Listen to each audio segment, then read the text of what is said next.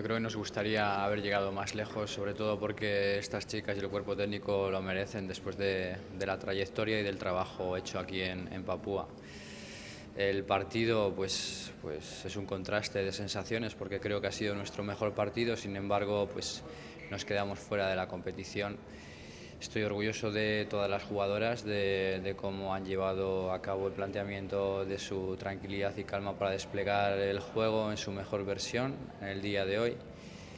y creo que, tienen un futuro por delante maravilloso, que, que, es solamente un torneo más, que han demostrado que tienen capacidades para jugar a, a fútbol como nadie.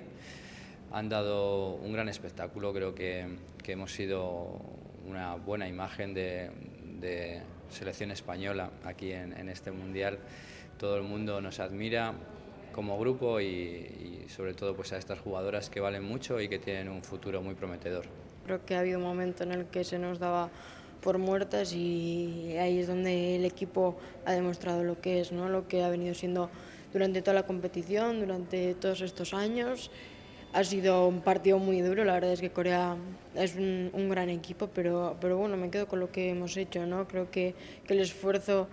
es innegociable y que es impresionante lo que se ha hecho, hay que seguir, es la primera vez que, que llegamos a esta fase y, y, bueno, nos vamos, en estos momentos estamos tristes, pero nos vamos contentas, orgullosas de lo que hemos hecho y, y bueno, seguiremos llegando a, a, mundiales, España seguirá estando en, finales y, bueno, creo que, hay un, gran futuro y, y seguro que en los próximos campeonatos irá genial. Bueno, llevamos juntas desde muchos años atrás,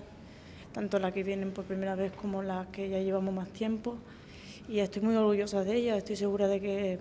las que siguen aquí van a, a demostrar y van a ganar campeonatos por nosotras también, las que se quedaron en casa también.